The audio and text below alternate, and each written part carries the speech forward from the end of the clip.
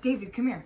I've been learning with the Simply Piano app, and I don't really know how it works, but it listens to what I'm playing. What?